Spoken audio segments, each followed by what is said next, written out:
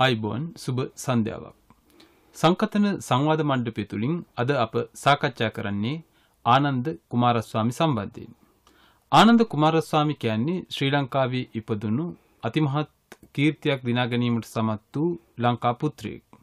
ඔහු ලංකාවේ පමණක් නොවී ජාත්‍යන්තර වශයෙන් විශාල අවධානයකට පාත්‍ර වුණා ඔහුගේ ශාස්ත්‍රීය කාර්යභාරය හේතුවෙන්. විශේෂයෙන්ම ශ්‍රී ලංකාවේ ඉතිහාසයටත් ලෝකයේ නැගෙනහිර කලාපයේ කලාවන් පිළිබඳ සංස්කෘතියන් පිළිබඳ බටහිරට ගෙන යාමටත් ආනන්ද කුමාරස්වාමී විසින් සිදු කරන ලද සේවාව අතිමහත් ඒ වගේම මිල කළ නොහැකි.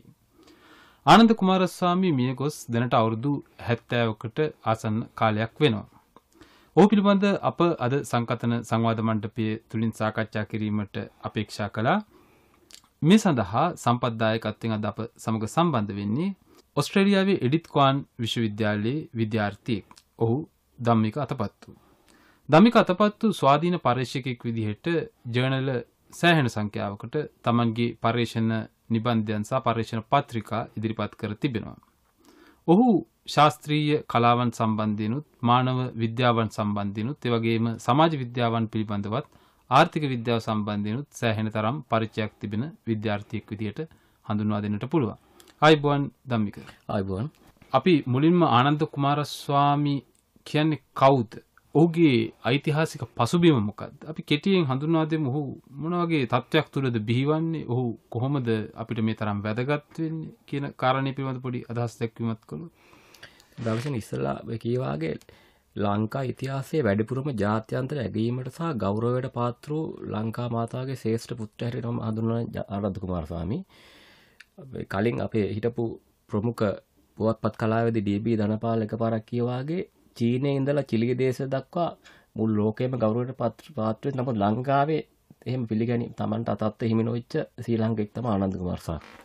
ඔහු ඇත්තටම ඔහුගේ මේ ඉපදුනේ ඔහු අයිති වෙන්නේ මානිපායි වල ප්‍රභූ පවුලකට.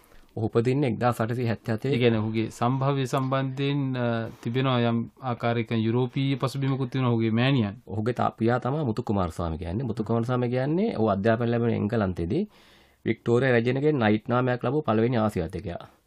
ඔහුත් විශාල භාෂා විශාරදයෙක්. නමුත් ඔහුගේ මාව වෙන්නේ මේ එංගලන්ත ජාතික කාන්තාවක්. මුතු කුමාරස්වාමීගේ භාෂා ඥානය ගැන අපි පොඩ්ඩක් කිව්වොත් ඔහු මොන වගේ භාෂාවන් පිළිබඳ පරි විශේෂයෙන්ම ග්‍රීක ලතින් ඉතාලි ජර්මන් සංස්කෘතික. ඒ ආභාෂයෙන් මෙයාටත් ආව කියල තම හිතන්න පුළුවන් කුමාරස්වාමිට විසයෙන් බෞද්ධ පාලි ග්‍රන්ථ ඉංග්‍රීසියට මුලින්ම පරිවර්තන කරේ මුතු කුමාරස්වාමි ලන්ඩන් නොලදී එදා සටසි හැත්ත ඇතේදී මුතු මේ ආනන්ද කුමාරසාම උපදිනා කොල්ල පිටියදී. නමුත් ඔහු අයස අවුරුදු දෙකක් වෙද්දී එංගලන්තයට යනවා එංගලන්තයට ගිහිල්ලා මුතු කුමාරස්වාමී ඔහුගේ පියා එන්න කලින් ඔහු මිය යනවා. මෙතන ඊට පස්සේ මව තමයි ඔහු මේ හදාගන්නේ. ඔහු නම ගැන කිව්වොත් ආනන්ද කියන්නේ ඇත්තටම ප්‍රීතිය නැත්නම් ජෝයි කියන එක. ආනන්ද කෙන්ටිස් කුමාරස්වාමී කියන්නේ කෙන්ටිස් කියන්නේ ඔහුගේ මව උපදින ස්ථානයේ කෙන්ට්. එයා ආభాෂාව එකක් කුමාරස්වාමීන් ඔහුගේ පවුල් නාමය එතන ඔහු වයස දොළහයිදී ඇතුළත් වෙනවා මේ වයික්ලිෆ් කොලේජ් කියන එකට එංගලන්තයේදී. දැන් මෙතනදී ඔහු ඊටාම දක්ෂතා දක්වනවා අධ්‍යාපනය අමතර ක්‍රීඩාවලටත්. විශේෂයෙන්ම ඔහු පාපන්දු කණ්ඩායමේ නායකත්වය දන්නවා විවාද කණ්ඩායමේ ඊළඟට සාහිත්‍ය කණ්ඩායමේ නායකත්වය දන්නවා. මේ මෙම වයික්ලිෆ් විද්‍යාලයේ තිබ්බ ප්‍රදේශය ඔහු භූවිද්‍යාඥයෙක් හැටියට පසු කාලීනව මධ්‍යාපනය ලැබීමට වැදගත් වුණා මොකද එංගලන්තයේ තියෙන පතල් බහුල ප්‍රදේශයක් ඒක.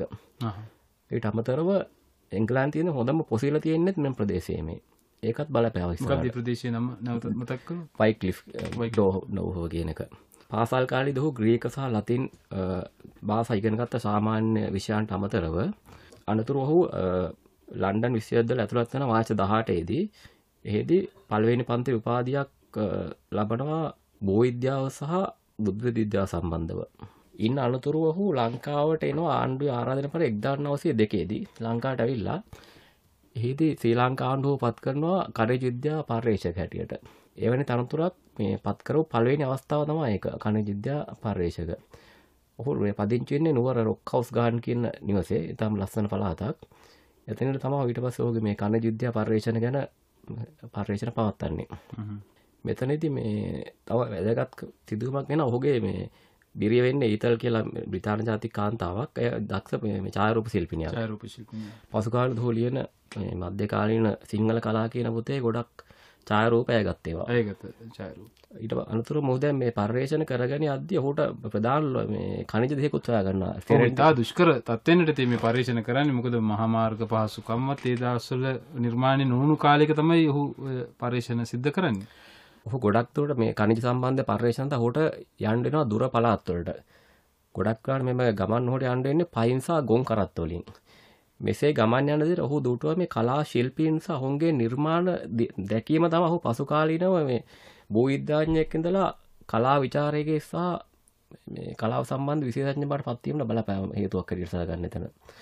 එම ශිල්පීන්ගේ තත්ත්වය මේ මේ පස්සේ මධ්‍යකාලීන සිංහල කතා මේ මධ්‍යකාලීන සිංහල කලා පොත ලියන්නත් බලපාන්න ඒක.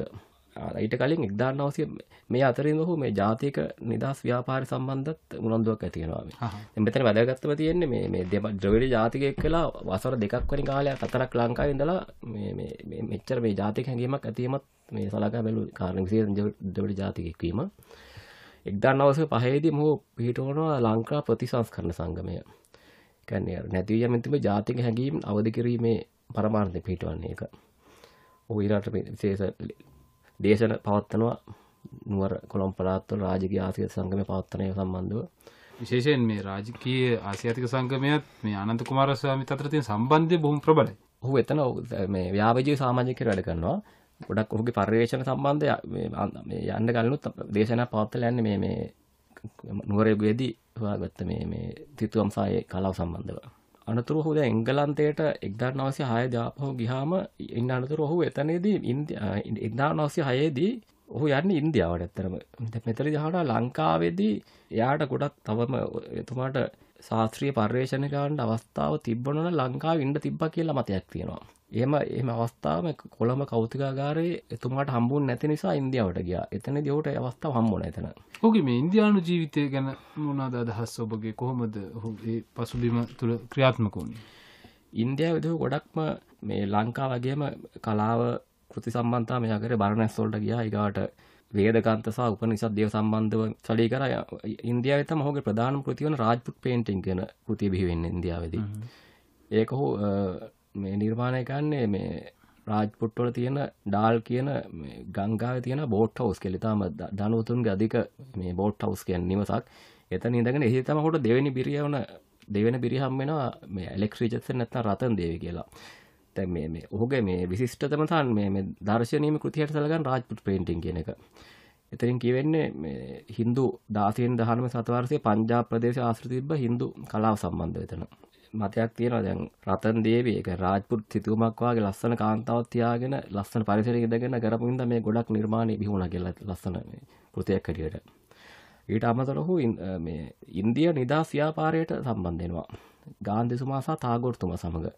සහ ඇනීටා බෙසන්ට් ඇනී බෙසන් මේ මේ ව්‍ය- සහ සරෝ- සරෝජිනී නායිඩු ඒගොල්ලෝ සමගත් අ, ක්‍රියාකාරී වැඩ කරනවා. ඔහු මහත්මා ගාන්ධා මුලින්ම හම්බෙන්නේ 1908 දී මේ ලන්ඩනට ආපු වෙලාවක මේ මුණ ගැහෙන්නේ. අටක මෙතන 14 දී. ඊට පස්සේ මේ ඔහු අර ඉන්දියාවෙන් මේ විමුක්ති ව්‍යාපාරය සම්බන්ධ පොතකුත් ලියනවා එසේස්ම් නැශනල් අයිඩිසම් කියලා. එම පොත ගාන්ධතුමා කිව්වා කියලා අදහසක් තියෙනවා කලෙක්ෂන් එක තිබ්බා කියන එක තන. ඊළඟට ඔහු රැස්වීම පවත්වලා රැස්- ඔහොම ඔහොම රැස්වීම සංවිධානය කළේ අමත ඇමතීමත් කරලා තියෙනවා. දැන් මේ ඉන්දියාවට මෙතන වැදගත් කාරණයක් තියෙන ඉන්දියාවට ඔහු නිතරම යෑම නිසා එංගලන්තයේදී ස්කොට්ලන්ඩ් යාර්ඩ් පොලිසිය පරීක්ෂණයට මේ මේ ප්‍රශ්න කිරීමට ලක් වෙනවා ඔහු. සැකයක් ඇති වෙනවා මේ මේ මේගොල්ලන්ට විරුද්ධ වැඩ කරන එක කියලා. 1916 දී තීරණාත්මක අවසරක් එයාට. 16 දී ලෝක යුද්ධය පටන් ගන්න අවුරුදු දෙකක් ගිහින් තියෙන්නේ. ඒ- ඒ කාලේදී බ්‍රිතාන්‍ය රජය මේ මේ නියමයක් ගෙන 18ට 18යි 40 අතර සියලුම තරුණයන් යුද්ධ හමුදාවට බැඳිය යුතුයි කියලා. අනිවාර්ය යුද සේවය. දැන් මේ- මෙතුමා බ්‍රිතාන්‍ය මෙතුමා එතකොට මෙතුමාගේ වයස අවුරුදු 39යි. මෙතුමාගේ බ්‍රිතාන්‍ය ජාතිකත්වය නිසා කිසිම ගැලියමක් එයින් ලැබෙන්නේ නැහැ. ඒ නිසා ඔහු මේ අන්- ඔහු ඒ ආණ්ඩුවට යෝජනා කරනවා යුද්ධයට නොවන එක නොන් කම්බැටන් ෆෝස් එකකට ජොයින් වෙන්න කියලා. ඔහු ඒකත් ප්‍රතික්ෂේප කරනවා. අන්තිමට ඔහුට ඔහුගේ මේ මේ එහෙම නිසා ඔහුගේ නිවස රාජසන්තක කරනවා කලා භවනක් වගේ තිබ්බ. ඔහුට හිටියා යාළුවෙක් එරික් ගිල් කියලා ඔහුගේ ආධාරයෙන් මේ තමන්ගේ ධනයෙන් විශාල ප්‍රමාණයකුයි කලාකෘතිත් තරම් ඔහුට එංගලන්තයෙන් පිටත් වෙන්න උදව් කරනවා. ඔහු ඔහු වේලාවේදී යන්නේ අය කවදවත් එංගලන්තෙට එන්නේ නැහැ කියන අදහසෙන් ඊට පස්සේ ආවෙත් නෑ ඔහු. ඉතුරු අවුරුදු 31කම ගත කළේ ඇමරිකාවේ. ඇමරිකාවට ගියාට පස්සේ මේ මොහොත තිබ්බ ප්‍රධාන ප්‍රශ්නයක් තමයි මේ කලාකෘති තිබ්බ ඒවා මොකද කරන්න කියන එක. ඉන්දියාවේදී කෞතුකාගාරයක් පිහිටවන්න කරපු ඉල්ලීම ප්‍රතික්ෂේප කරමු නිසාම අන්තිමට තියෙන එක විකුණන්න මේ කල්- මේ මේ වටිනා කලාවස්තු ටික. එතකොට තමයි ඔහුට හම්බෙන්නේ මේක ආරංචි වෙනවා බොස්ටන් මියුසියම් ආර්ට් නැත්නම් බොස්ටන් ලලිත කලා කෞතුකාගාරයේ රොස් කියන තැනත්තාට මේක තමයි කියුරේට බාරගන්න හිටියේ. ඔහු ඊට පස්සේ මේ මේ මොහුගෙන් ඒ ටික මිලදී අරන් වෙනම සෙක්ෂන් එකක් හදනවා එතන ඉන්දියන් ආර්ට් සම්බන්ධ. එහෙම හදලා මොහු එතන පත් කරන බාරකාර හැටියට. ඊට පස්සේ සඳහන් නම් ඉතාම කැමැත්තෙන් මෙම එහි මේ- මේ කටයුතු කරා කියන එක. දැන් මෙතෙන්දි මේ වැදගත් කාරණයක් තියෙනවා ඒ තමයි මේ මේ ආනන්ද කුමාරස්වාමී ඔහු ඊ- මේ ඉන්දියානු කලාව වගේම මේ නැගෙනහිර ලෝකයේ මේ ප්‍රාචීනවාදී කලාවන් බටහිර ලෝකයට සමීප කළා. ඔහුගෙන් පසුව බොහෝ දෙනෙක් අ, ඒ කාර්යය නිල- නියැලුණා. නමුත් මේ බටහිර ලෝකය මේ ඉන්දියාව සහ මේ නැගෙනහිර ලෝකයේ උසස් කලාවක් උසස් සංස්කෘතියක් තිබුණා කියලා හඳුනා ගැනීමේ මූලික අඩිතාලමක් වටෙන්නේ අ, ආනන්ද කුමාරස්වාමීගේ ක්‍රියාකලාපයන් හරහා. මම එහෙම කිව්වොත් නිවැරදිද? ඔබගේ අදහස මොකක්ද ඔව් එහෙම නිවැරදි දර්ශන එහෙම කියන එක ප්‍රධාන වශයෙන්ම ප්‍රධාන ඔහු අ, ප්‍රධාන කෘති 48ක් සහ නිබන්ධන සහ පර්යේෂණ 500 අධික ප්‍රමාණයක් අ, ප්‍රකාශයට පත් කළ තියෙන අවුරුදු මේ මේ පොඩි කාලයක් ඇතුළත. දශක හතරක් ඇතුළත වාගේ. එතනින් ප්‍රධානම කෘතියට සැලකෙන්නේ 1908 දී අ, ලියපු මධ්‍යකාලීන සිංහල කලා කියන එක medieval සිංහල ආර්ට්ස් අදටත් තිබෙන ශ්‍රේෂ්ඨතම කෘතියක් අපේ අ, කලාව පිළිබඳ හැදෑරීම සඳහා ලංකා තියෙන ප්‍රධානම කෘතියක් තමයි දැනට තියෙන එක. එයින් කියවෙන ඇත්තටම 18 වෙනි සතවර්ෂයේ ලංකාවේ විසූ ශිල්පීන්ගේ නිර්මාණශීලීත්වය සහ ඔවුන්ගේ ජීවන තත්ත්වය පිළිබඳව කියවන පොතක් තියෙන එතන. මෙහි අ- අඩංගු වෙනවා. රාමායනයේ සිට සිංහලයන් පිළිබඳ ඓතිහාසික විමර්ශනයක්. ඒ වගේම 18 වන සියවසේ උඩරට විසූ සිංහලයන්ගේ සමාජ ආර්ථික විවරණයක් උඩරට තිබ්බ ගෘහ නිර්මාණ ශිල්පය මූර්ති කලාව මැටි කර්මාන්තය චිත්‍ර ශිල්පය ලෝහ කර්මාන්තය ඇතුළු විස්තර ඇතුළත් වෙනවා. මේකෙන් තමා පෙරදිගට මේ මේ අපේ තිබ්බ සංස්කෘතිකාංග සහ කලා නිර්මාණ බටහිරට ගියේ. අපි ඒ අතින් ආනන්ද කුමාරස්වාමීට ණයගැති ලංකාව යාට හිමිතත් ලංකා අනිත් ලෝක හැමතනම යාට හිමිතත්ව හිමුණ ලංකාව මිනිස්සු තම දන්න තිනවාට ඊළඟට හොගේ දෙවැනි තව පොතක් කෙනවා bronzes from Ceylon chiefly in Colombo museum කියලා. කියන්නේ කොළඹ කෞතුකාගාරය ඇති ලෝකඩ ප්‍රතිමා.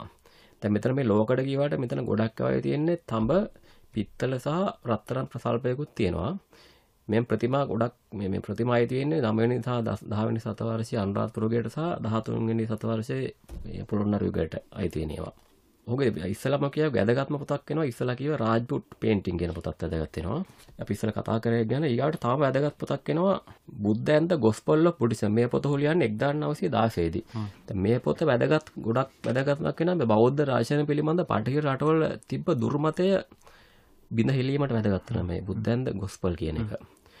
දැන් මේ- පොතෙන් පස්සේ ඉන්දියානු ඉතිහාසය සාහිත්‍ය දර්ශනය සංස්කෘතිය අධාරණ වියතුන් රැසම්ම බුද්ධ ධර්මය පිළිබඳ ගැඹුරුම් හැදෑරීමට ආකර්ශණයට පටන් ගත්ත මේ පොත. ඕකේ අනිත් වැදගත් පොත් තමයි ඩාන්ස් ඔෆ් සිවා.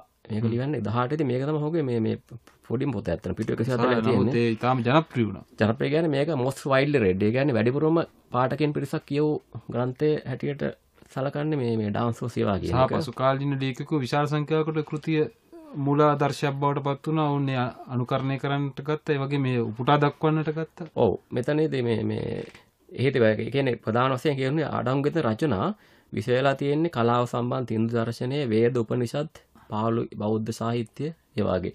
දැන් වේද උපනිෂද් කියන්නේ අතරම මේ පුරාණ බමුණන්ගේ මේ බමුණන් විසින් මේ ලෝකය මරණය උත්පත්ති සම්බන්ධ ගැඹුරු දර්ශන අදහස් වෙන ඒවා. දැන් මේ ඒක ඒකත් මේකට මෙසි මේ ඩාන්ස් සේවා කියන එක වැදගත් වෙන ඔහු අන්තිමට අර මිය යන 1800 947 සැප්තැම්බර් 9 වෙනිදා උදෙත් හෝ කරගෙන මේ අලුත් පොතට සංස්කරණ කීපයක් එකතු කරමින් ඉඳි තමයි මිය යන්නේ එතන ඒක.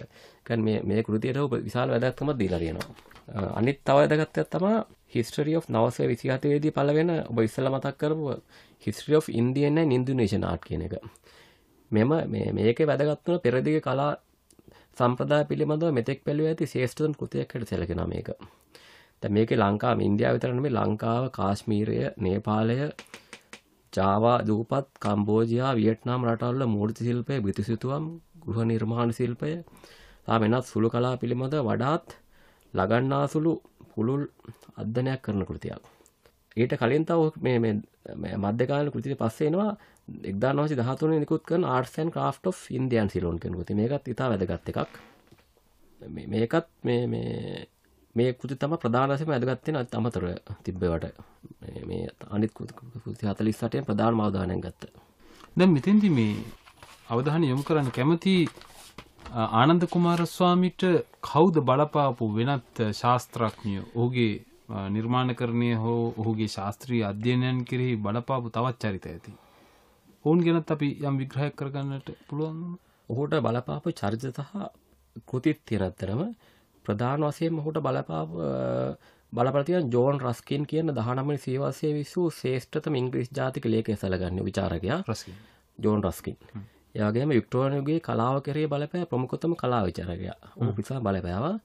ඒගා තැනත් තැන විලියම් මොරිස් විලියම් මොරිස් කියන්නේ ඉංග්‍රීස් ජාතික කවියෙක් කලා විචාරකු ඒවන් සෝෂල් ලැක්ටි සමාජ ක්‍රියාකාරකයකු පරිසරවේදියෙක් මුගේ තමා කෙම්ස්කොට් ප්‍රියන් ප්‍රෙස් කියන මුද්‍රනාලය තියෙන්නේ. පස්සේ ආනත් කුමාරසා මිලදිගන්න හොගෙන්නේ එක. හො ගෑස්්ික හොක ශිෂ්‍යයාගෙන්.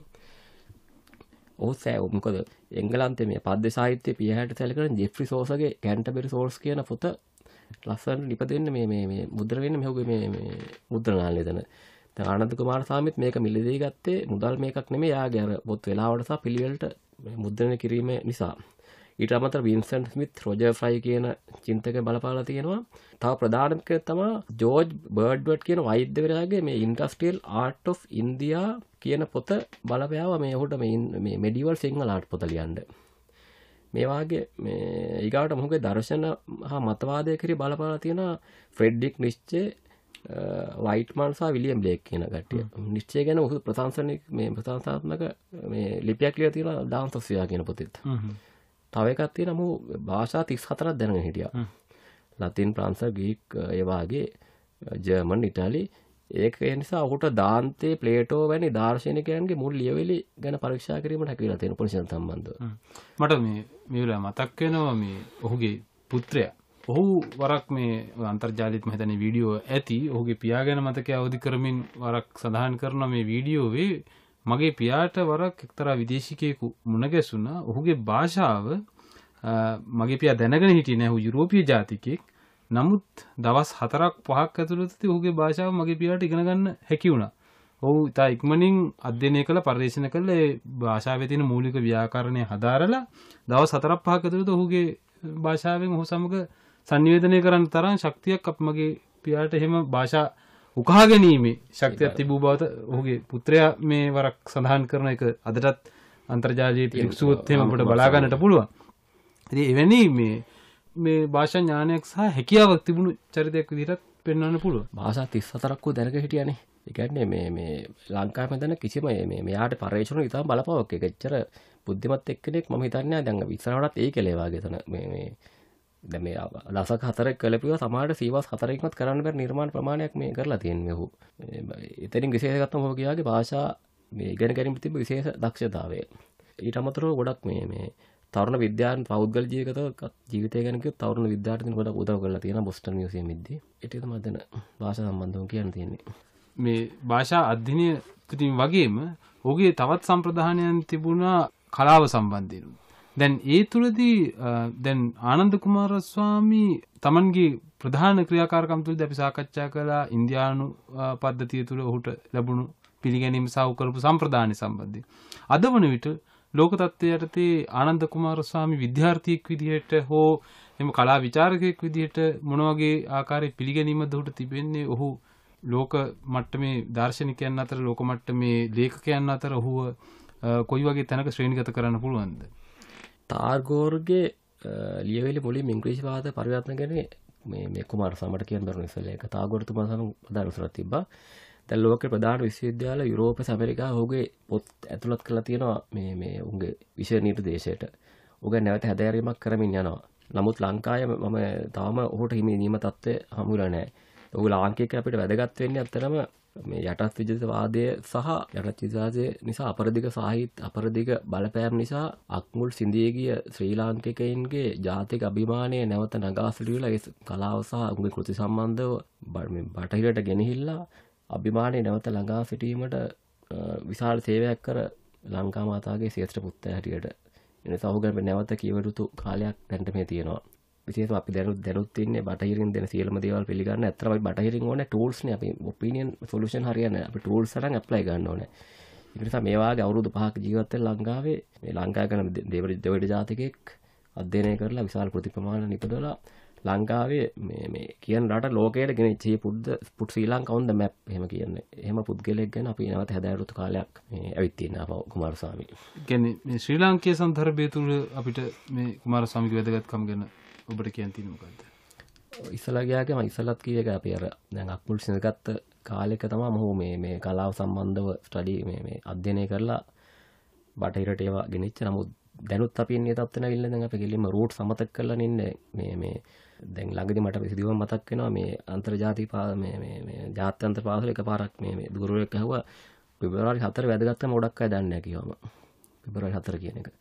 තම එක කැවලු මේ හුවද ෆාද නේෂන් කියාව එක ළමෙක් ඇහවලු ගොඩක් අය දන්න ඩුවි හැවන් කියලා එමත් එවෙන් තත්ත්වත් දැම තියෙන්නේ එම නිසා මේවාගේ අක්මුල් අමතක් කරන කාල පරිච්චේදයක අපි නැවතාපහු තමන්ගේ රූට් ස්වා ගැනීමට මේවායිනේ විද්‍යාඥයද දර්ශනයතා පර්යේෂණ වැදගත්තනවා. සංකතන සංවාධ මණ්ඩපය තුළින් අද අප සාකච්ඡා කළේ ආනන්ද කුමාරස්වාමි සම්බන්ධයෙන්. ආනන්ද කුමාරස්වාමි කියන්නේ බටහිරත් නැගෙනහිරත් ඒකාබද්ධ කරපු මේ සංස්කෘතීන් සහ සම්ප්‍රදායන් අතර යම් සමාකරණයක් සිද්ධ කළ විද්‍යාර්ථියෙක් ශාස්ත්‍රඥයෙක්. ඔහුගේ ශාස්ත්‍රීය කෘති අදටත් මතුවටත් ඒවගේම මේ තවත් පරපුරු ගණනාවකටත් එක ලෙසම බලපාන ඇති බව තමයි අපේ විශ්වාසය. ආනන්ද කුමාරස්වාමී පිළිබඳ ඔහුගේ ශාස්ත්‍රීය සම්ප්‍රධානය පිළිබඳ අද අප සමග සාකච්ඡා කළේ ඔස්ට්‍රලියාවේ එඩිත්කාන් විශ්වවිද්‍යාලයේ විද්‍යාර්ථයකු වන ඒවගේම ස්වාධීන පර්ේෂයකුකු ලෙස පර්ේෂණ කෘති සහ පර්ේෂණ නිබන්ධ ගණනාවක් පල කරන ලද තරුණ ශාස්ත්‍රඥයකු වන දම්මික අතපත්තු මහතා. සංකතන සංවාධ මණ්ඩපය සමඟ එක්වීම සම්බන්ධවට බෙහිවින් ස්තුතියි. සංකතන සංවාධ මණ්ඩපයේ නිෂ්පාදනය කොට ඉදිරිපත් කළ මම දර්ශන අශෝක කුමාර.